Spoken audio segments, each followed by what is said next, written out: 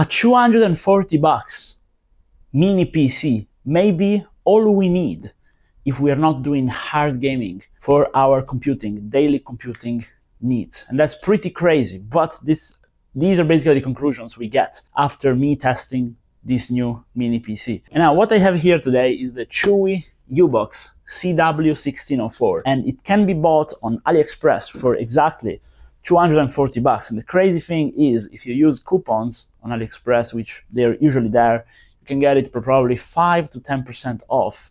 And so basically buy it for just a little bit over 200 bucks for a PC which has crazy, crazy specs. Now let's go over it. Now the packaging is pretty basic but pretty well done. Okay, everything is put there nicely and they even include a VESA mount. You don't get anything if not the mini PC and the power adapter, but that's literally everything you need. When I was unboxing it, I was really impressed by the build quality because this thing is metal and it can be opened magnetically. So you can access the inside to expand both the RAM and the NVMe, none of which are soldered on board. And it has a toolless access point. This configuration over here, which is the one I think you should buy and also the one I'm referring to in terms of pricing, has 16 gigs of RAM, half a terabyte of NVMe drive, and it has a Ryzen 5 6600H in there with the Radeon 660M graphics, which can also do its own, as we will see very soon with benchmarks. Now, from the outside, it has very good connectivity. I'm gonna show you guys around. It has two front USB ports, plenty more on the back, LAN port, of course, Wi-Fi 6 included, Bluetooth included, HDMI, DisplayPort out, and it can support up to three monitor, every single one of which is at 4K. Now, for today's tests, I am testing it at 1080p for the benchmarks in terms of the game performance, but I am testing it for productivity with a mini monitor at 1440p just because you know I thought mini PC, mini monitor, maybe you want to travel around with it. This one is the U Perfect monitor, which I also reviewed on the channel. Pretty cool thing by itself.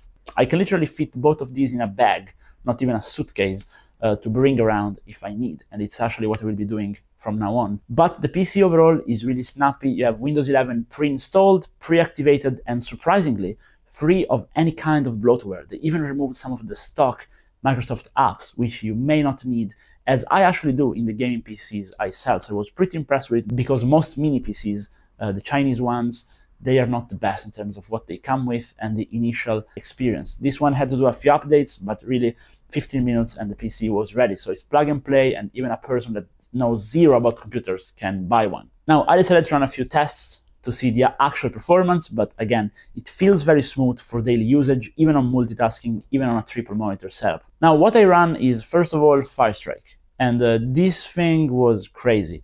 So we have a massive physics update. I'm talking the physics on this thing uh, is better than the first i9 that ever came out, the i9 9900K, which is mind boggling. Like, I can't quite believe it. It's a six core, 12 threaded CPU, and it goes really fast. However, the graphics is not quite up to par, I think. This will allow you to play very light esports games if you want, but this is not a gaming PC. But you can play Fortnite, fine. Rocket League, fine. Minecraft, fine. You got my point. But this is mainly thought to aid you in your productivity usage. So Photoshop, bit of Premiere, and just some basic graphics acceleration this can do. But what was crazy is in the Firestrike, if you saw the hardware monitor temperature results, it was not overheating at all. And this is semi-passive. You can't hear it at all when it's running. So you can put it in a very quiet environment. Even if you want to use it as an HTPC to watch films, it is pretty good. I then run a CrystalDiskMark because I wanted to see what kind of NVMe they put in there. And you will see all the specs over here on the screen, but basically it's a pretty slow NVMe drive pretty much Gen 3 speed, even though I think it has Gen 4 interface, and for sure the motherboard has Gen 4 interface, but it's understandable because this way we put out less heat and it's a lot cheaper. And also, let's face it, if you're not doing heavy video exporting, moving files around, you don't really need more than a Gen 3. I, this is actually something I recommend for low-end gaming on the channel as well, so it makes sense. I then went ahead, looked at some more system specs, which as you can see, CPU goes all the way up to 4.5 GHz on CPU-Z, and I ran a quick CPU-Z benchmark, and here we are far behind the i9, but still faster than a stock i7 8700K. I make references to older CPUs because I think what this is meant to do is be an upgrade and a replacement for the very old computers which are still circulating around, stuff with like second or third gen i5s, which were very popular at the time, or very bad all in one computers, which we see a lot of. Let's not lie about it. For that use case, and as a travel PC and as an HTPC, I am surprised by how good this PC is. That's why I'm bringing it on the channel. It's crazy good. It's better than any of the single ones I've tried before. It's better than all the Ace Magic ones, which I tried on the channel. This is the new meta. If you want to buy a mini PC, buy this one, and uh, I wouldn't overspend in the higher configurations. You don't really need more RAM on a PC like this. And I don't think you need more storage. I think you're better off using an external drive if you need more storage.